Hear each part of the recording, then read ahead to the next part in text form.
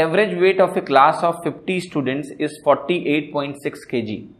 If the average weight of 20 boys is 54 kg, तो बताना है कि average weight of the girls क्या होगा क्लास में 50 छात्रों की कक्षा का औसत वज़न 48.6 किलोग्राम है अगर 20 लड़कों का औसत वज़न 54 किलोग्राम है तो बताना है कक्षा में स्थित लड़कियों का औसत वज़न कितना होने वाला है, ठीक है? बहुत आसान सा सवाल है, आपको इसमें कहीं भी पैनिक होने की ज़रूरत नहीं है, ये क्वेश्चन आराम से निकलेगा, ठीक है? मैं समझाता हूँ कि ये कैसे होगा।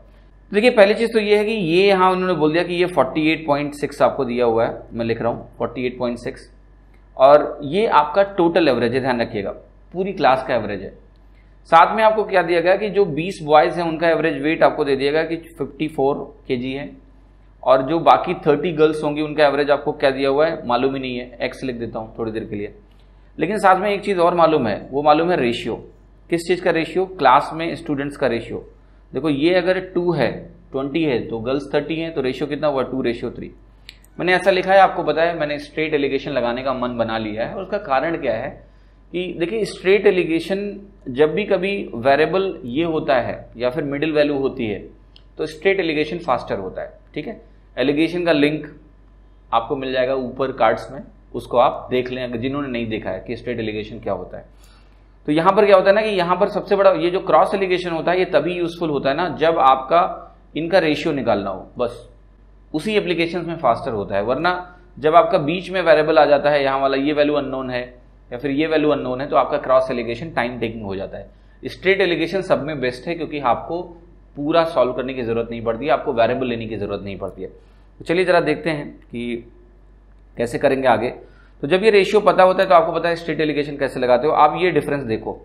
तो ये डिफरेंस देखो, कितना मिलने वाला है आपको? ये डिफरेंस आपको मिलने वाला है 5.4 5.4 यहाँ डिफरेंस मिला जो 3 को करस्पॉन्ड कर रहा है। देखो 3 5.4 को करस्पॉन्ड कर रहा है। तो 1 किसको करस्पॉन्ड करेगा? 5.4 पॉइंट फोर बाई थ्री यानी 1.8 2 किसको करस्पॉन्ड करेगा? 3.6 अब ये क्या है? आपको बता चुका हूँ, ये डायरेक्शन ऑफ़ डिक्रीज है। ठीक है? तो इसमें से 3.6 घटा दो, आपको क्या मिलने वाला है? 45 तो आपका आंसर कितना हो गया? 45 ठीक है? इतना आसान क्वेश्चन हो जाता है अगर आप स्टेट एलिगेशन को यूज़ करो, क्योंकि इसमें वेरिएबल्स का इस्तेमाल नहीं करना होता है। वेरिएबल्स की ज़रूरत ही नहीं होती है। आसानी से आंसर निकल आते हैं। ठीक है? तो फिर से समझा देता हूँ कि एक चीज़ और भी ध्यान रखना यहाँ पर घटेगा, इसमें कोई शंका नहीं होनी चाहिए। क्योंकि एवरेज हमेशा बड़ी वैल्यू और छोटी वैल्यू के बीच में होता है। एवरेज हमेशा बड़ी वैल्यू और छोटी वैल्यू के बीच में होता है।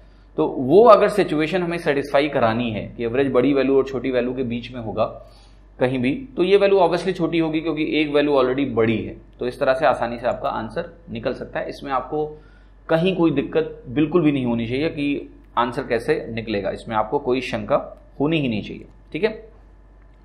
तो चलिए अब आगे करते हैं। ठीक है, अगला क्वेश्चन सॉल्व करने की कोशिश करते हैं। ये बहुत स्ट्रेट एलिगेशन से आसान क्वेश्चन था, इसमें कोई चैलेंज नहीं था। इवन आप चाहते तो ऑप्शन चेकिंग भी अप्लाई कर सकते थे, उसमें कहीं कोई तकलीफ़ नहीं होना चाहिए। मैं आपको तरीका उसका भी बता देता हूँ कि ऑप्शन चेकिंग भी क्यों इतना आसान है, यहाँ मुश्किल नहीं है। देखो ध्यान से, पहली बात तो अगर आपको याद हो तो मैंने आपको कुछ समझाया था कि जो एवरेज होता है ना, उसकी एक शिफ्टिंग प्रॉपर्टी बताई थी मैंने आपको। नेचर ऑफ़ द एवरेज आपको तुरंत मालूम चल जाएगा। ये ध्यान से देखो, आपको दिया है फोर्टी एट पॉइंट सिक्स साथ में ये वैल्यू आपको दी हुई है चौवन दी हुई है है ना? ये वैल्यू आपको दी हुई है चौवन फिफ्टी फोर दी हुई है। अब जरा एक बात ध्यान से देखो कि जो रेशियो दिया है वो टू रेशियो थ्री दिया हुआ है। मतलब इसका वेट कम है, इसका वेट ज़्यादा है तो जो भी एवरेज होगा वो उसकी तरफ़ ज़्यादा शिफ्टेड होने वाला है। तो मतलब ये हुआ कि अगर ये डिफरेंस 5.4 है तो ये वाला जो डिफरेंस है ना, ये 5.4 से कम होने वाला है। 5.4 से जो ये जो डिफरेंस है वो डेफिनेटली कम होना चाहिए। क्योंकि एवरेज डेफिनेटली इसकी तरफ़ शिफ्टेड आने वाला है, क्योंकि इसका वेट रेशियो इसके कंपैरिजन में कम है। तो इसकी तरफ़ शिफ्टेड आने वाला है। अब इसकी तरफ़ शिफ्टेड आने वाला है तो ये वैल्यू 5.4 से कम होना चाहिए। अब आप अगर यहाँ पर 5.4 माइनस करो तो आपको क्या मिलेगा? 43.2 यानी ये जो वैल्यू है ये ये 43.2 से बड़ी होनी चाहिए। क्योंकि जब 5.4 माइनस किया, यानी मैं मिडिल वैल्यू की बात कर रहा हूँ 43.2 आ रहा है तो अगर ये 43.2 होगा तो वन रेशियो वन आएगा। लेकिन मुझे पता है कि ये इससे बड़ा होगा, तब ये इसके ज़्यादा पास होगा। तो आंसर 43.2 से बड़ा होगा। और ये थोड़ा सोचते अगर आप मेंटली तो ये दो ऑप्शन तो ऐसे ही रिजेक्ट हो जाते हैं। अब अगर दो ऑप्शन रिजेक्ट हो गए तो दो ही ऑप्शन बचे। दो ही ऑप्शन बचे तो एक पैंतालीस बचा, एक छियालीस बचा। किसी भी एक ऑप्शन के चेक चेक कर लो, पता चल जाएगा कौन सा सही आंसर है। जब दो ही ऑप्शन बचे हैं तो अगर आप कोई भी ऑप्शन उठा के चेक करोगे तो या तो वो सही होगा, या तो वो गलत होगा। अगर वो सही होगा तो वही सही उत्तर होगा। अगर वो सही नहीं होगा तो अगला सही होगा। जब दो ही चॉइसेस हैं भाई एक कॉइन को ऐसे हमने टॉस किया है ना? टॉस किया तो पता है कि हेड आया है तो टेल नहीं आया है और टेल आया तो हेड नहीं आया राइट तो वही दो जब दो ही चॉइसेस हमारे पास बची तो फिर क्या ही है?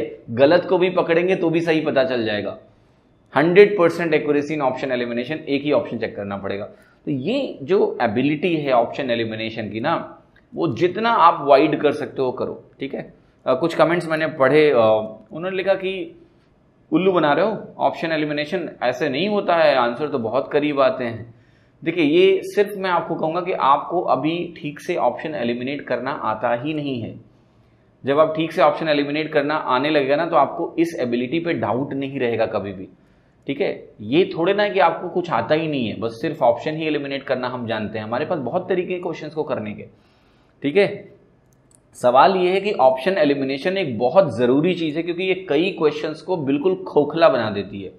तो कहीं, जैसे यहाँ पर तीनों ऑप्शन रिजेक्ट नहीं हुए ना पार्शियल एलिमिनेशन हुआ। अगर पार्शियल एलिमिनेशन भी आपने दो ऑप्शंस का कर लिया और आपने दो ही ऑप्शन बचे, फिर क्या बचा क्वेश्चन में? आप एक ऑप्शन चेक करो, अगला आंसर मिला। तो ऑप्शन एलिमिनेशन का मतलब ये नहीं होता कि हर बार तीन ऑप्शन एलिमिनेट हो जाए। इवन अगर आप दो एलिमिनेट कर पा रहे हो, आप एक ऑप्शन भी एलिमिनेट कर पा रहे हो, आप करना शुरू तो करो। एक टाइम ऐसा आएगा जब ये आपकी इतनी बड़ी स्किल होगी ना कि कोई भी ऑप्शन आपकी नज़रों से बच नहीं पाएगा। मेरी नज़रों से कुछ बचता ही नहीं है। मेरी नज़र क्वेश्चन पढ़ने के तुरंत बाद अपने आप ऑप्शन पे जाती है और जो वाहियात ऑप्शन होते हैं, उनको मैं आसानी से रिजेक्ट कर सकता हूँ। कई बार क्वेश्चन इतने आसान होते हैं कि मुझे ऑप्शन तक जाने की ज़रूरत ही नहीं पड़ती है। ठीक है? कई क्वेश्चन ऐसे होते हैं जहाँ मैं ऑप्शन एलिमिनेशन नहीं भी लगाता हूँ। तो डिपेंडिंग ऑन आपके जो आपके पास अस्त्र होना चाहिए ना, कई सारे होने चाहिए। एक ही अस्त्र लेके चले जाओगे क्या? कि ऑप्शन एलिमिनेशन लेके चले गए बस। या बस ट्रेडिशनल तरीका लेके चले गए, बस नहीं, ऐसा नहीं है ना। मैं आपको ऑप्शन एलिमिनेशन के लिए ही नहीं ट्रेन कर रहा हूँ। मैं आपको स्मार्ट थिंकिंग के लिए चेंज कर रहा हूँ। और वो स्मार्ट थिंकिंग केवल ऑप्शन एलिमिनेशन नहीं, मैं आपको बहुत सारे एलिमेंट बता रहा हूँ। ये स्टेट एलिगेशन क्या है? ये उसी स्मार्ट अप्रोच का एक उदाहरण है। ये क्या सिखा रहा हूँ मैं आपको? शिफ्टिंग ऑफ़ एवरेजेस ये भी उसी का उदाहरण है। ये किस किताब में मिलेगा आपको? किसी किताब में नहीं मिलेगा। कोई नहीं सिखाता शिफ्टिंग उफ्टिंग एवरेज का, ठीक है? धीरे धीरे करके सब लोग अपग्रेड करेंगे, जब वो भी हमारे वीडियोस को देखेंगे, ठीक है? तो लेकिन आप बहुत ही चीज़ों को अच्छे से एनालाइज करिए, इतना जल्दी एक, होता क्या ना कि आपने एक वीडियो देखा, आप उसमें, आप जब मुझे क्वेश्चन को बहुत जल्दी जल्दी करते हुए देखते हो ना तो आपको एक सदमा लगता है।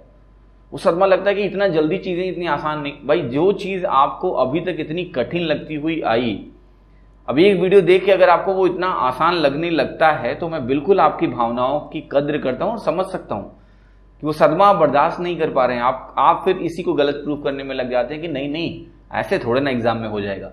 पर ये जो इग्नोरेंस है, ये जो काली पट्टी है आँखों के सामने ना, उसको हटा दो। चीज़ें आसान हैं। ये मैं आपको फिर से बोल रहा हूँ, डंके की चोट पे बोल रहा हूँ। ठीक है तो इसको जितना आप शॉक्ड हो रहे हो, वो मैं समझ रहा हूँ, वो 20-22 साल का जो एक बोझ है, वो डर है, वो एकाएक जब आप देख रहे हो कि हट रहा है ना तो आपको, आप कहते हैं ना कि वो इनर्शिया होता है ना, हर किसी को इनर्शिया होता है। चेंज आदमी नहीं चाहता है रेजिस्ट करता है चेंज को but change is the law of nature तो ये वो चेंज है अप्रोच में जो आपको लाना है, और आप भी पूरी तरह से बदल जाएँगे, ठीक है? नो ऑफेंस केवल आपको सही बात बता रहा हूँ। अगला क्वेश्चन